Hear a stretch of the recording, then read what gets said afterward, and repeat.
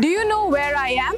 This right here is a beautiful green park developed by Northeast Frontier Railway from a wasteland in Guwahati's Maligaon area.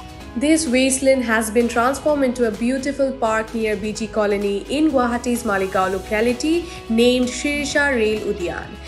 Official, this place has been developed for both elderly people and children. It provides a space for children to play and for elderly people to take morning walks. Previously abandoned due to waterlogging and garbage dumping, the area was reclaimed by NF Railway and the park has been constructed within 120 days. The park spans 5,500 square meters and features modern amenities such as walking tracks, sitting areas, a lawn, an open gym, separate washroom, a children's play area, solar LED lamps and a pond with fountains. The walls are painted to impart knowledge about Assam's nature and cultural history. This initiative is crucial for Guwahati which has very few parks and a commendable step by NF Railway to improve the environment and community well-being. Business Northeast spoke to one of the officials and got to know that the total budget required for this project was approximately 1.6 crore and this park will be open very soon for the public. That's all for today. Keep watching Business Northeast.